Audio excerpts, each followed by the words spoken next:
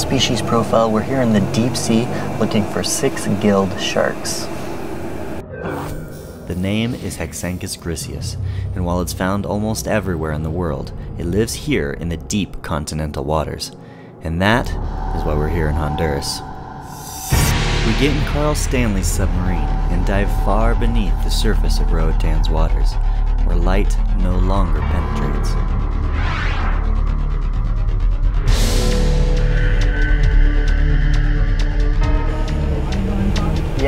Go ahead and get that. At a thousand feet, we see animals rare at the surface.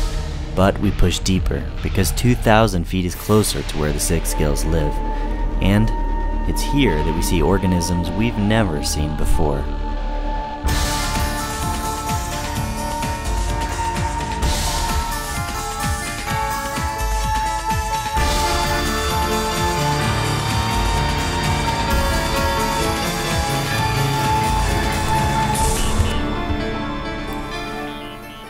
Now let's review. There are around 440 shark species. Scientists divide them up into eight orders.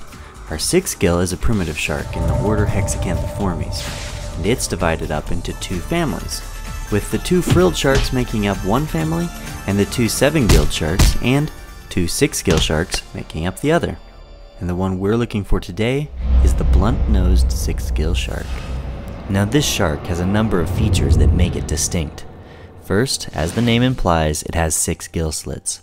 Almost all sharks have only five gill slits. Secondly, you'll notice that this shark has only one dorsal fin, which is pushed far to the back of the shark's body.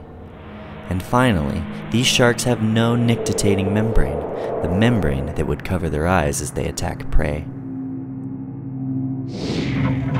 And we might not have to wait long, because this is the area that when the bait's out, the sharks come.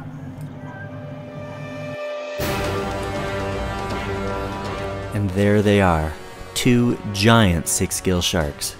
Now they're cautious at first, checking out the submarine. But they know there's food, so they approach slowly.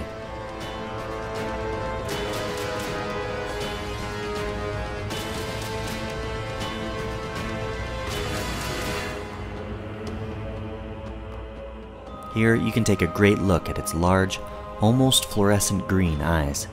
They're able to take in any available light, and there the six gills that give it its name. We estimate these to be 4 meters. These are large sharks. The largest can be over 5.5 meters long.